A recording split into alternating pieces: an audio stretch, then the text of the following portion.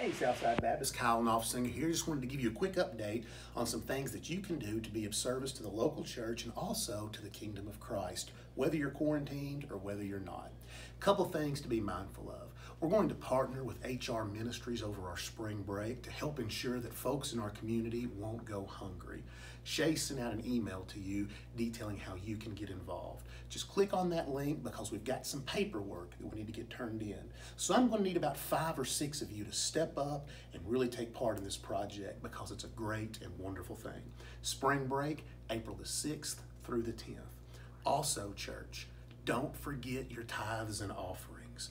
Be obedient to the Lord. Give graciously and generously during these uncertain seasons. That's how our church exists and how we're able to do so many of these things. You guys have been great, and I know that you're going to keep it up, and we appreciate it so much. Also, got to show you something else. Why don't you come with me? In here is our food closet, as a lot of you all know.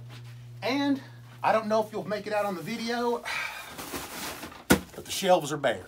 So we need your help in restocking this. If you've got to get out, if you're going to be at Walmart or Food Giant, pick up some canned goods. Green beans, corn, ramen noodles, always a good choice.